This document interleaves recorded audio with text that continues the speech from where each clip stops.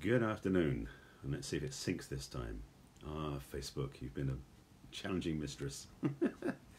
um, yesterday's broadcast was out of sync between audio and video. I'm hoping today will be cleaner. We'll see what happens. So, hi, thanks for joining me. Um, welcome to episode six, nine, 973. I'll bump the table. Um, the topic today is um, how can you give something to somebody else if you don't give it to yourself?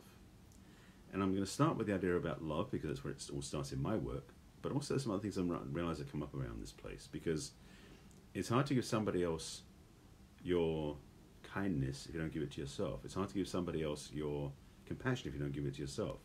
It's hard to give somebody else your agreements if you don't give it to yourself.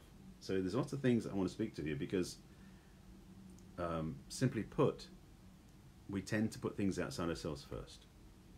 So let's talk about love, as we're going to say, start with that. So my passion, as I've talked about quite many times, I help people learn to love themselves before they love somebody else. Because in a relationship, it's the most codependent thing there is to keep thinking somebody else is going to give you what you don't have yourself when you do have it and you don't give it to yourself. That should make sense.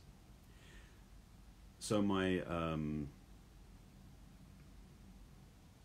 my invitation to you is to start reviewing your day, this one for example, and maybe the last week, and maybe this last year, and see about how much love you actually gave yourself thinking that you deserve, well, excuse me, giving it, giving it yourself because you deserve it, rather than thinking just give it to somebody else because they deserve it. There's a trap in here which we fall into, which is thinking about if we please other people, they'll approve of us. That's a big one, by the way. Approval, approval seeking is kind of one of those big um, addictions we have. When you're saying, "Hi, Vincent, good to see you, sir," um, we fall into this trap of not knowing what it is really we really want to have because we don't give it to ourselves first. And the thing is, we are amazingly self-sufficient emotionally when we let ourselves have what we want for ourselves. Again, self love, compassion, care, forgiveness, big one, um, acceptance, appreciation, all these different things we give to ourselves, we tend not to because we give it to other people first. And this is the epitome of what codependency is about. Is that we think somehow, first of all, they've got to approve of us before we think we're valid, which is a mistaken approach because you already are amazing and worthy, regardless of what other people think. You can quote Eleanor Roosevelt for that one. You know, what you think of, what, what you think of is none of my business. The thing is, we tend to think that everyone else's opinion of us is more important than our own opinion of ourselves. That's a whole other teaching, put it to one side. It's all interconnected because we're tying into the fact about we seek other people's approval because we don't trust ourselves to have the approval inside ourselves. And secondly, we don't take care of ourselves enough to warrant seeking other people. So the thing is, and I, I talked about this a lot recently as well about taking care of yourself first before you take care of other people. This is a ground I learned in a seminar 35 years ago, which I'm still learning how to re refine and polish because uh, it's a never-ending journey. But one piece of that that's really vital for me is to learn how to actually take care of myself on another level, a better level, a higher level, a more functional level. And so for me, I'm passionate about people learning to learn to help people learn how to love themselves first. Self-love is a vital, functional, and powerful tool when you use it to take care of yourself, so then you're not longer, no longer dependent upon somebody else to make you feel okay, because you already are you already are okay, as I mentioned. But when you're loving yourself first before you meet somebody else, that person is actually off the hook. You let them off the hook, because the other part of this thing where you, we're trying to get other people's approval is you make them responsible for your happiness. Yes, that's what this is how codependency works. You become responsible. You, you, it's like you're with somebody else in a relationship, and somehow you're not being responsible for their happiness. Works the other way around too. So understanding that your true alignment is to yourself first. So you can be more effective in the world loving other people as an overflow, as an abundance, as an extension of loving yourself. That's the way to do it right.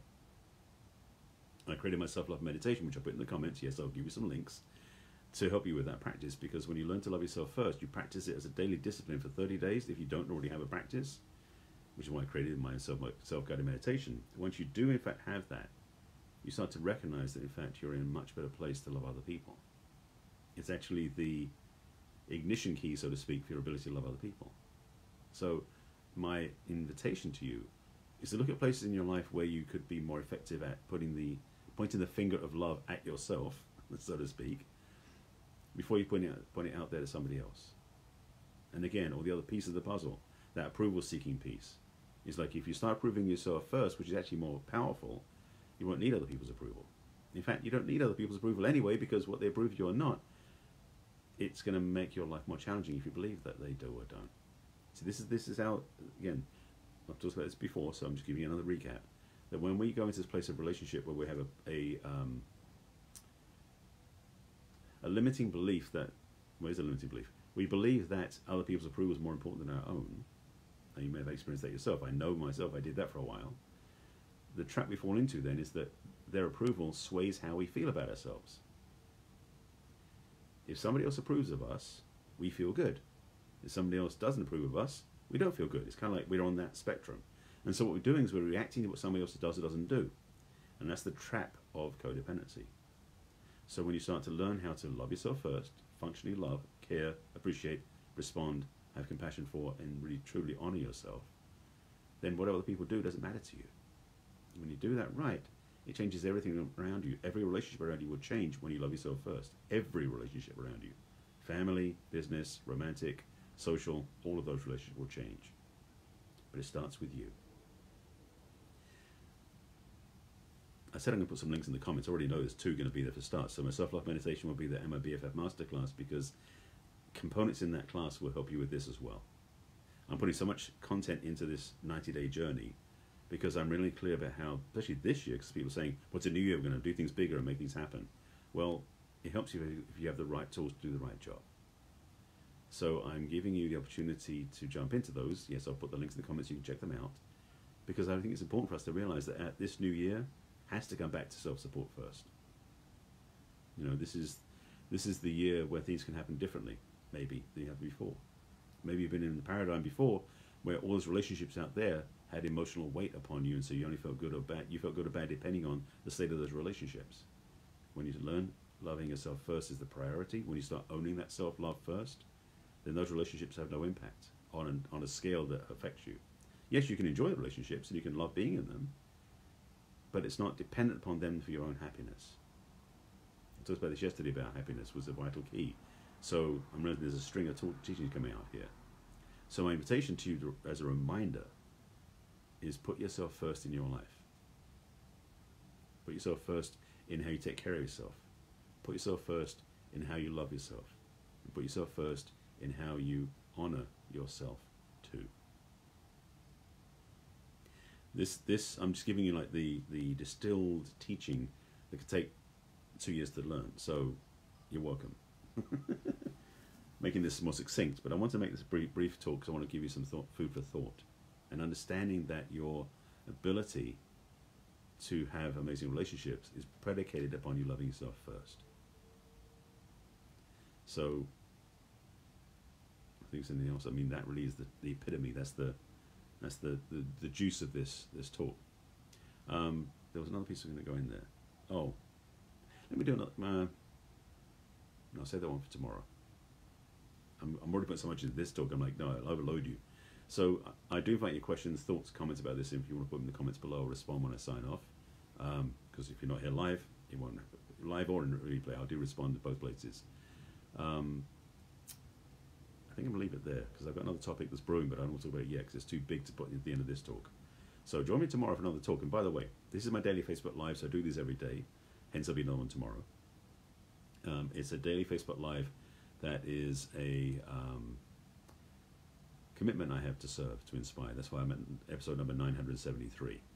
So if you haven't seen my broadcast before, I do this every day of the week, seven days a week, on my personal page on Facebook, which is Barry Selby, at 5 p.m. Pacific time usually. Sometimes it moves time-wise, but it's always, always every day. So you can join me live every day then. The replays go to my business page on Facebook, which is barryselby.author, so you can like my page. And on there, there are usually two or three hundred broadcasts available. They don't show all of them because that's Facebook style. I'm not saying anything about that. So if you want to get all my broadcasts, go to my YouTube channel. Yes, I'm, I'm um, not promoting is the wrong word. I'm sharing about YouTube because I use that as well. So if you go to my YouTube channel, which is youtube.com slash user slash Barry Selby, subscribe to my channel. On there is a playlist called Messages from the Masculine, where all my broadcasts live. Every one of them's there. I made sure of that. So you can search through by titles or keywords, find what you're looking for, and get some help in different areas. Again, there'll be some links in the comments afterwards because I did drop a hint about two of them. But I'll put a third link in there as well, but if you can reach out to and chat with me, because if you're ready to get some help, I'm here to help you. So love yourself first, take care of yourself first, honor yourself first, and approve of yourself first. If you get those things down in your life, everything else will work better. You can count on it. So thank you for watching as always. I'll see you again tomorrow, same time, same channel. And uh, I remind you, as always, to please take care of yourself. I'll see you again soon.